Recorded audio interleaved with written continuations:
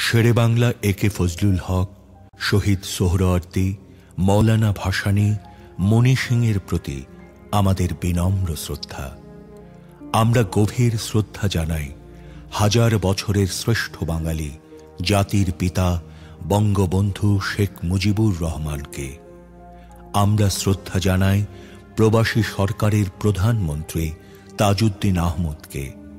আমরা শ্রদ্ধা জানাই একাত্তর পূর্ব ছাত্র নেতাদের, যারা বান্ন, বাষট্টি, ছেষট্টি, ঊনসত্তরে গণ আন্দোলনের সৃষ্টি করে বাঙালি জাতির স্বাধীনতা ও মুক্তির সংগ্রামে বঙ্গবন্ধুর পাশে ছিলেন।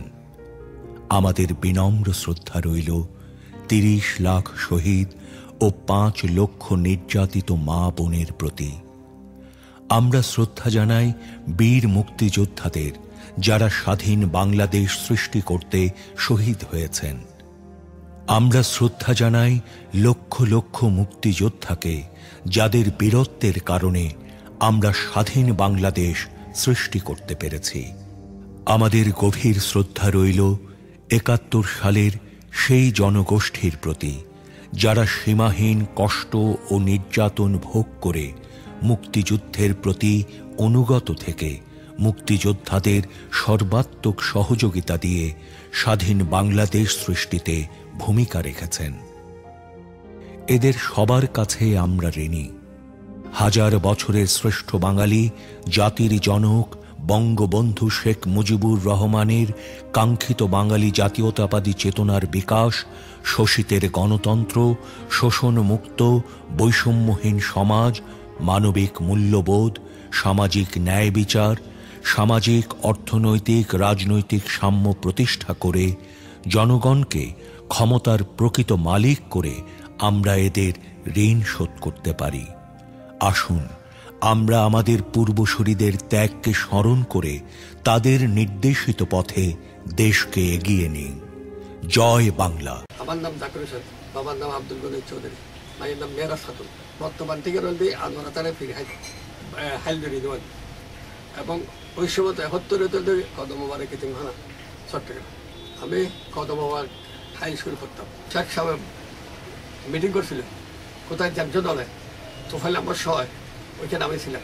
পঁচিশে মার্চ রাতে আপনারা কোথায় ছিলেন? প্রথমে রাত্রে আমি ছিলাম আন্দর কিল্লে আওয়ামী লীগ অফিস আছে আওয়ামী লীগের অফিসে আমরা ওই ভিতরে ঢুকতে পারি দাম তো আমরা বাইরে ছিলাম।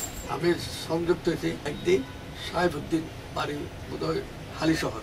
সে আবার বুঝাইল বুঝাইছে যে হাতার কাটা ওদের বাসায় আছিল ওইখানে। তে আমার হয়তো আপনি মুক্তিযুদ্ধ ঢুকতেন মুক্তিযুদ্ধ তখন আমার ছবি বসর, ইসমাইল, ওয়াহিদুল আলম আমার সঙ্গে মনসুর আছে রাষ্ট্রতন্ত্র একসাথে মিলে আমরা কেন্দ্রে মুক্তিযুদ্ধে গেলাম। যাওয়ার পরে কাশেম কন্ডাক্টরের ওদের কাছে ট্রেনিংয়ে যাচ্ছিলাম। ওইখানে যাওয়া যাওয়ার পরে। আপনাদের ছেড়ে দিন ট্রেনিং ট্রেনিং দিয়ে এক জায়গায় আমাকে পাঠাইলো ওপার করে। ডিসি হিলদের ওইদিকে ওইখান থেকে এসে আরেকদিন আমাদেরকে মনসুরাবাদ যাওয়ার জন্য বলছে। মনসুরাবাদ যাওয়ার জন্য আমরা রেডি হচ্ছি, তখন আমাকে ধরে নিয়ে গেছিল। ধরে নিয়ে গেছিল একজন নাম বুকসত আর নাম আলিবাব। ফজুর কাদের পাড়ে নিয়ে গেলে। আমি ওখানে ছিলাম তো তো ওইখানে সবাই আমার চিনত তখন যারা নিয়ে গেছে তারাও আমার চিনত ফজুর কাদের বলে তোর বাড়ি কোথায়? আমাদের আমার সবাই চিনি। তখন ইসলামাদের সব বিয়ে আদাত ইসলাম আদি সব আমার দিকে তাই হতো হতো, বালার ছেলে। ও তার কেন তখন আমি আর কিছু বলি নাই। তখন আমার খবরদার। চলে আসছি আমার সাথে যারা নিয়ে গেছে। এখনও পর্যন্ত আমি আর দেখিনি।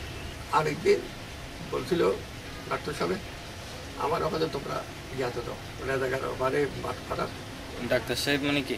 এ তো মাহবুস উনি আমাদের কমান্ডার তো। গেলাম। গিয়ে দশটাকে এগারোটা বাজে। আমরা কিন্তু ওখানে একটা ছোট্ট মসজিদ আছে। মসজিদে অবস্থান করছি। অবস্থান করার পরে এখানে দশ হইতে পনেরো মিনিট দেরি নাই। ইন্ডিয়ার প্লেন আসে, দিছে এখানে মানে। দেখা কিছু রোগীকে মরে দিচ্ছে এরপরে এদিকে এদিক পাঠায় কোথায় মানো নেই আমার। তাহলে রাজাকার আড্ডা ছিল। আমরা কেগুলো সবাই মিলে ওইখান থেকে রাজাকার দৌড়ে দিচ্ছি পাল্টাপাল্টি করা বলে তখন আমরা তাদেরকে ওইখান থেকে পাঠিয়ে দিচ্ছি আমার বিনোদ চৌধুরী, হিন্দুদের নেতা ছিল।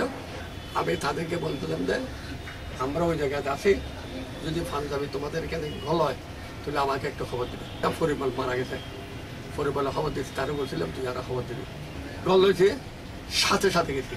এই সময় ছিলাম আমরা ওই বাবার প্রাইমারি স্কুলের সাইডে আমি যাওয়ার মানে একটু দূর থেকে গেছি তো। ওই তারা বলতে যে এরা চলে গেছে এই আর। আর ওখানে হাঙ্গামা করতে হবে। স্বাধীনের পরে আপনি কি করলেন তারপর? স্বাধীনের পরে আমি আজাদের চাকরি করি।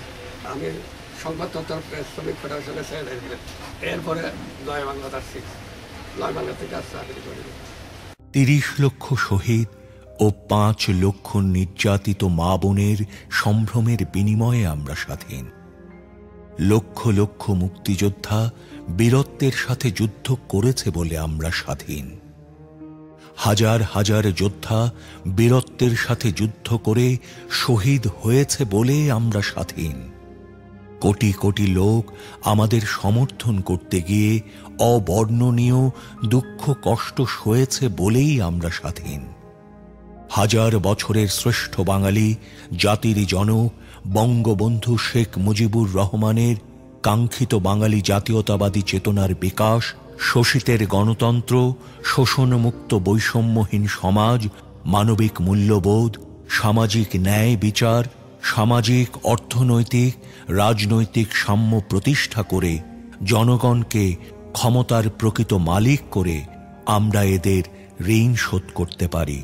আসুন, আমরা আমাদের পূর্বসূরীদের ত্যাগকে স্মরণ করে তাদের নির্দেশিত পথে দেশকে এগিয়ে নেই।